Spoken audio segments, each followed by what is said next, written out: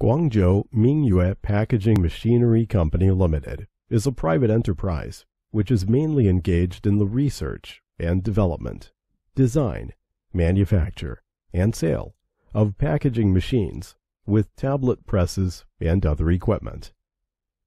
The management motto of our company is Develop through quality, strive for survival through quality. Company specializing in the production of full automatic packing machine,